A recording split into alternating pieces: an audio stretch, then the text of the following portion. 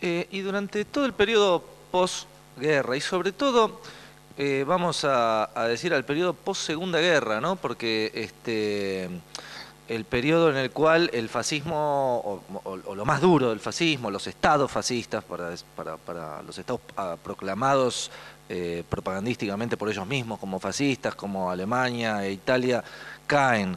España, el gobierno continúa. Este, ¿Cómo es la situación de este, la oposición o la situación de este, los, los, derechos civiles y los derechos de la población y la situación de la represión dentro de la misma España?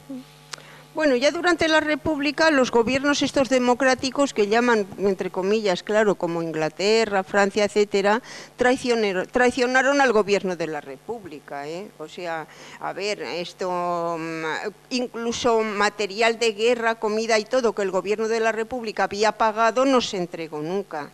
También, por ejemplo, un aliado de la República que, que envió muchas armas, que fue Rusia, también se marchó y lo dejó todo. Entonces, cuando cae... Ah, recordemos un, detalle que me viene a la mente ahora, porque las potencias occidentales, las potencias occidentales este, llamadas democráticas, digamos, eh, decretan un embargo a los dos bandos. Lo que pasa es que el embargo a los dos bandos en realidad es el embargo a un solo bando, porque el otro bando era abastecido por Alemania e Italia, que no tenían ningún embargo, digamos. Sí, pero por favor no les llames bandos, ¿no? Porque ya te digo que había el fascismo internacional y un pueblo resistiendo. Entonces, eh, un pueblo resistiendo al fascismo creo que no se le puede llamar un bando, ¿no? O sea, me parece. Entonces, efectivamente, o sea, embargan todo de la República y, al franquismo le, venía fantástico porque ellos tenían toda la ayuda militar, de infraestructuras y de todo lo que necesitaban que se lo proporcionaba Alemania, Italia y todos los demás. Incluso se habla de que la propia Inglaterra y la propia Francia también le enviaban ayuda, o sea que bueno. Y entonces, pues bueno, eh, una vez que cae el nazismo y se acaba la Segunda Guerra Mundial, pues España, digamos, que pasa a ser apoyada directamente por esas democracias occidentales y por los mismísimos Estados Unidos, que se coloca allí las bases militares y todo, y encima es admitida como miembro de pleno derecho en la ONU, aún sabiendo, o sea, la España de Franco fue admitida como miembro de pleno derecho en la ONU, aún contando con el genocidio que se había cometido allí y que se seguía matando todos los días. Y que era un régimen que, un régimen fascista que, era producto de un golpe de Estado apoyado, como te he dicho, por, por la Alemania nazi y todo lo demás. Y fue admitido, pero, claro, es que tienes que pensar un poco quién es la ONU, ¿no? que fue nada menos que durante varios años presidida por un oficial de las SS y de la Wehrmacht del ejército alemán, que acusado de crímenes de guerra, como fue Kurt Y bueno, cosas así, entonces, ¿qué vas a esperar de un organismo como ese? ¿no? Y que ahora mismo coge y dice, mm, y sigue, claro, fíjate lo que han hecho con Libia y lo que hacen con cualquiera que no les conviene. Entonces sí, prefirieron más apoyar al fascismo que apoyar al, pueblo español. Tengo una, pregunta, y actualmente, este, ¿cómo, ¿cómo se está desarrollando la lucha de tu grupo y de muchos otros que, según se ha visto, se está instalando la investigación de los crímenes del fascismo.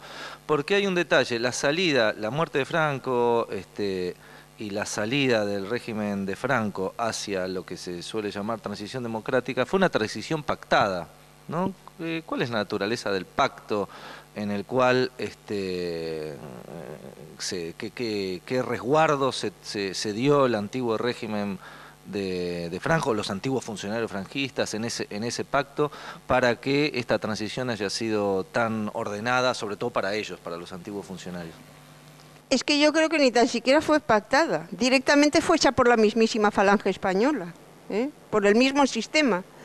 Tú ten en cuenta que cuando muere Franco, eh, bueno, la, digamos, la, cara visible de toda aquella operación que se llamó transición española a la democracia, imagínate, sin tocar para nada el Estado fascista, ni que nadie tuviese que rendir cuentas por sus crímenes, por sus robos y por, mm, por todo el genocidio, tiene la complicidad del Partido Socialista Obrero Español y del Partido Comunista que firman con ellos esos pactos. ¿Y en qué consistían esos pactos? Pues los pactos consistían en el olvido de las víctimas, en el silencio sobre todos los crímenes y todo el exterminio del franquismo, en la destrucción de las pruebas del genocidio y en blindar la impunidad para todos los genocidas y colaboradores. Personas, empresas, entidades como la Iglesia Católica, empresas que explotan mm, presos hasta la muerte mediante los trabajos forzados, etcétera, etcétera. Y entonces, y, fíjate cómo fue aquella transición que incluso los torturadores de la Brigada Político-Social, que era la policía franquista, fueron ascendidos a comisarios y todo eso. había, personajes en el Estado español que escuchar solo su nombre había gente que le ponía los pelos de punta. Habían matado personas torturándolas, habían hecho de todo durante los años de la dictadura. Bueno, pues esos pasaron a ser comisarios. Los jueces del Tribunal de Orden Público, que era el Tribunal de la Represión en el franquismo, a esos los hicieron mm, jueces del Tribunal Supremo y, de la Audiencia Nacional Española, que fue un macro tribunal que se creó con esto, con competencias en todo el Estado español, precisamente para tener, para poder ubicar a todos aquellos jueces que incluso habían hecho condenas de muerte. Y sobre todo había una cosa fundamental: todos los medios mm, del Estado, la economía, eh, los medios de comunicación, la cultura, todo quedó en las mismas manos.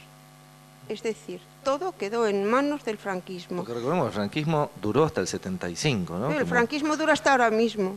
Porque ahora mismo incluso, incluso los gobiernos socialistas, quien ha estado gobernando es gente con fuertes vinculaciones con el franquismo. Tú piensas, por ejemplo, la vicepresidenta primera del gobierno con el gobierno de Zapatero, la señora María Teresa Fernández de la Vega.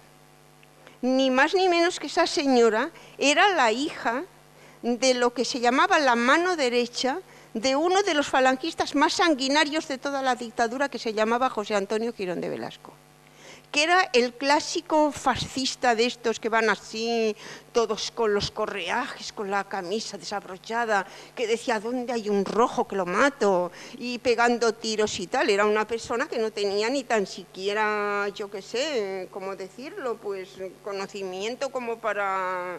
Y este señor era eh, su parte intelectual. entonces, este señor, incluso eh, este señor, el fascista, estas cosas, Antonio Girón de Velasco, que fue ministro de Trabajo, que fue ministro general del movimiento, porque digamos... digamos el presidente del gobierno de Galicia, ¿no? Estaba que murió el año pasado, un señor muy mayor, no era un hombre ese también, del claro, del franquismo, pero era del Partido Popular, ¿no? Bueno, pero fíjate que que el hijo, la hija de este señor era la vicepresidenta de un gobierno socialista.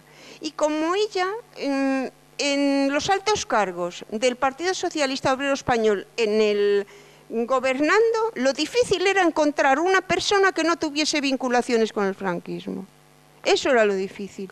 Entonces siempre han estado ellos, con un nombre o con otro.